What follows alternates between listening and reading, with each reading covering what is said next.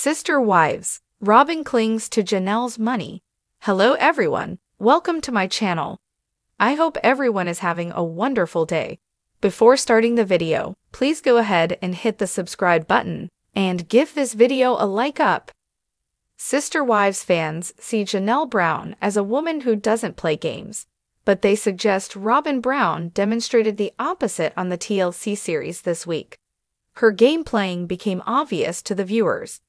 They watched as the youngest wife from this now defunct plural marriage changed the story to whatever suited her best. After the latest episode, fans applaud Janelle's decision to sever ties with her marriage. But they also see Robyn as her roadblock. The fourth wife's agenda became transparent after she seemed more invested than Kody in keeping her co wife in the family but it has nothing to do with her dream of a rocking chair or a front porch in her old age. Sister Wives Robyn Brown shuffles her thoughts on Janelle Brown. Robyn Brown first attempts to get her husband to reel Janelle Brown back in. She thinks her co-wife might change her mind and build on Coyote Pass. Before Janelle severed her marriage with Kody, she contributed all her finances to the Sister Wives family cookie jar. So Sister Wives fans assume if Robyn Brown can get Kody to talk Janelle into staying that flow of money stays too. But then the cameras capture what Janelle is doing. And the only interest she has in that property is selling it to recoup her money. Robyn considers it a wash with Janelle's finances. It becomes clear that enticing Janelle Brown back into the sister wives' marriage won't work. So when Robyn Brown comes back on the camera, she talks about Janelle wanting her money. So now the fourth wife has changed her tune. Robyn's mindset seemed to change from enticing Janelle back into the family. Instead, she seemed to shuffle into a defense mode about owing her co-wife money. She learned what Janelle planned to do.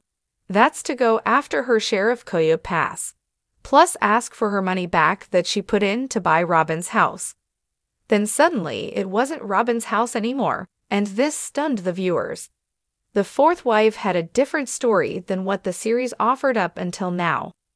Robyn Brown attempted to justify why she and the sister wives patriarchs don't owe Janelle anything. This not only stuns viewers, but it angers them. Fans saw right through Robyn this week. Enough so to surmise her co-wife is about to have a battle on her hands. It likely won't be easy for her to get anything from the now monogamous couple. Sister Wives Robyn's home a family clubhouse. Suddenly, the luxurious estate that was always called Robyn's house is no longer her place. Instead, she describes it as a glorified clubhouse for the entire Sister Wives family. She and Kody lived in that home for the last five years. But now Robyn said she was only occupying the property after all five spouses purchased it as a family asset.